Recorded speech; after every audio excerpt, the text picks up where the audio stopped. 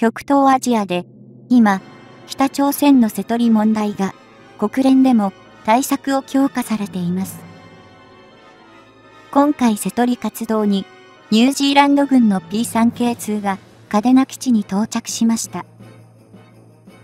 ドイツのフリゲート艦も日本に到着、監視活動が強化されています。今回は、このニュージーランド P3 キロ2を詳しく見ていきます。韓国は、瀬戸りを活発化と打とう。名目上は北朝鮮ですが、韓国の監視活動がほとんどではないでしょうか。瀬戸り活動中に、海上自衛隊の P1 哨戒機に見つかって、レーダー照射をしてしまった。しかも、軍艦で瀬戸り活動ということもあったんです。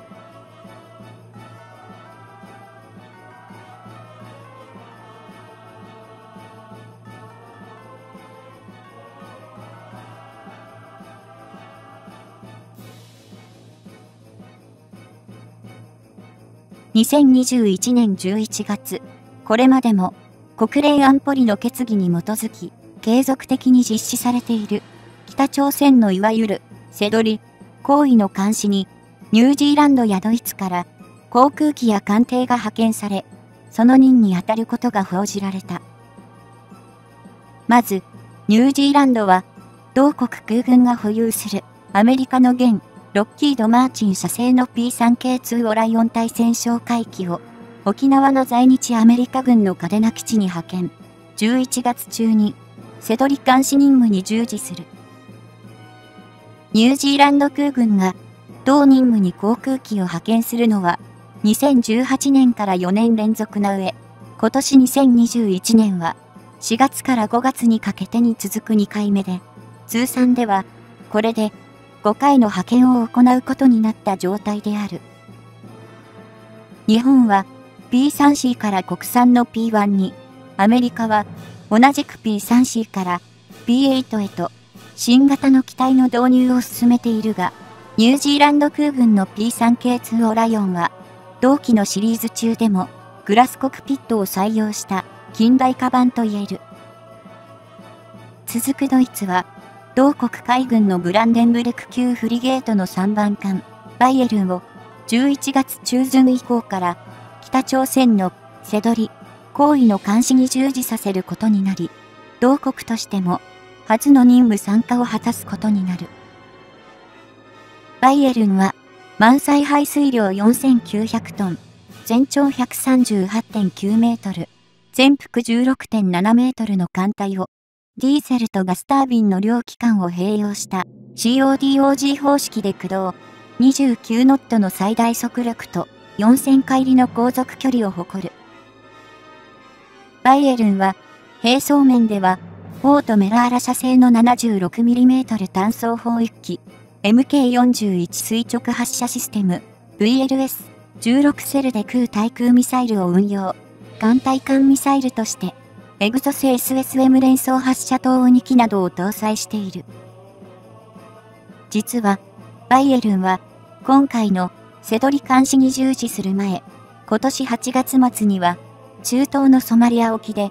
海上自衛隊の護衛艦、夕霧と合同軍事演習を行い、その後、オーストラリアやグアムを経由してやってきた。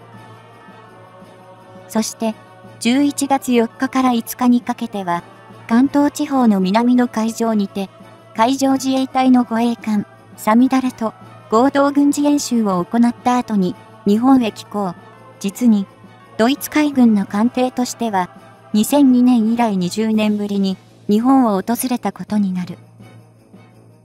そもそも、北朝鮮の瀬戸り監視にドイツが加わったことも初であり、これまでは日本、アメリカ、韓国、イギリス、フランス、カナダ、オーストラリア、ニュージーランドの8カ国に限られており、新たな動きと言えるだろう。これまで、日本を含む8カ国が、北朝鮮の瀬戸り監視を実施してきたのは、2017年9月に採択された国際連合安全保障理事会決議2375に基づくもので、核兵器や弾道ミサイル等の開発を続ける北朝鮮への制裁のためだ。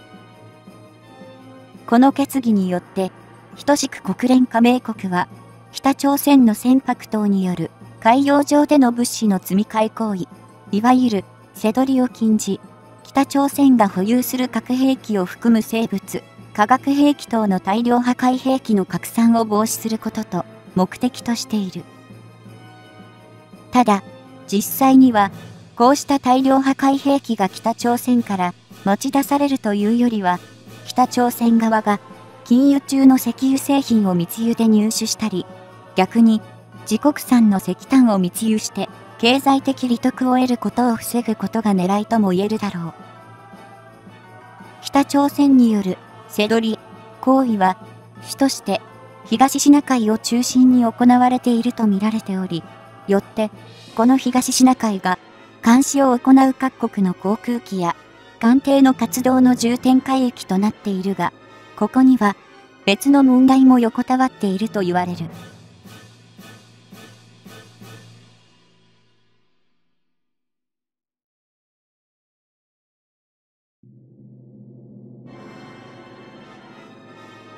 それは、西側諸国からすれば、近年、富に海洋進出を強めている中国に対し、東シナ海や南シナ海における牽制行動を兼ねているとの見方であり、中国が台湾海峡の制海権を掌握することを防止しようとする意図も指摘されている。2018年7月には、国際連合安全保障理事会に対して、アメリカ政府が文書による報告を実施し、その内容は、前述の国際連合安全保障理事会決議2375に反し、中国やロシアの企業が北朝鮮への石油製品密輸に関与したと示唆するものだった。北朝鮮のような経済的にも行き詰まった独裁国家が、まがいなりにも、この2021年でも存続できているのは、後ろ盾となる中国が崩壊を防ぐために各種の支援を行っているであろうことは、もはや国際的にも公然の秘密だろう。加えて、韓国のように同民族であり、かつ、地続きの国でも、むしろ北朝鮮が崩壊して難民が溢れる等の混乱を避けたいとの思惑もあるようで、2018年5月には、東シナ海上で韓国と北朝鮮のタンカー同士が接触しているとの報も伝えられた。韓国政府は、この事実を即座に否認したが、国際連合安全保障理事会決議2375の採択後も、韓国内の港湾には、北朝鮮産出の石炭が運び込まれていると、アメリカは指摘。北朝鮮への経済制裁を韓国が破ることに警告を行っている。さて、今回のニュージーランドからの P3K2 オライオン対戦哨戒機や、ドイツからのブランデンブルク級フリゲート、バイエルンの北朝鮮のセドリ監視の件に戻れば、この両国にはかなりの温度差があるようにも思える。これは、ニュージーランドという小国が隣国でアメリカ・イギリスとの申請、フォーカスを締結したオーストラリアと同じように、基本的にはアメリカ寄りの対中国路線を選択していることとの違いにも見える。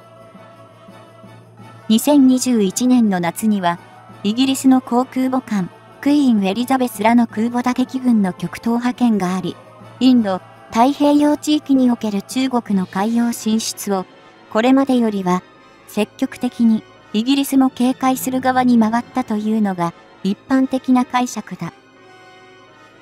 それでも、クイーンエリザベスそのものは、極東への往路も袋も、いたずらに中国を刺激することは、避けるためか、台湾海峡を通過することはなく、その意味では、未だ公然とした中国包囲網というには、いささかの脆弱さも感じてしまう。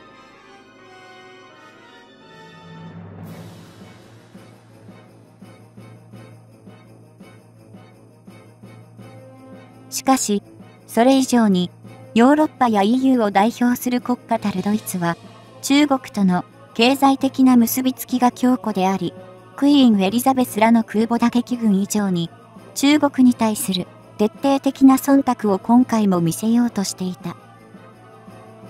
それは、ブランデンブルク級フリゲート、バイエルンを、やはり台湾海峡は通過させないこと、及び、中国に対しても、親善機構を行うという方針からも明瞭だったが、後者は、中国側から拒絶を受けて断念している。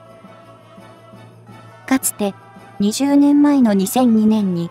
ブランデンブルク級フリゲート4番艦のメクレンブルク・フォアポンメルンと、バーデン・ビルテンベルク級フリゲートの4番艦、ラインラント・プファルツは、中国のチンタオに寄港した過去があった。こうしたドイツと中国との過去の経緯を勘案すれば、今回のバイエルンの日本への寄港と海上自衛隊の護衛艦との合同軍事演習も手放しでは歓迎できないとも思えるのだが、いかがなものであろうか。今回は中国側がバイエルンの自国への寄港を拒絶し、これは実現しなかったが、これまでの中国寄りの政策を続けてきたドイツが、その体現者でもあったメルケル政権の退陣で、どのように変化するのかにも注目だろう。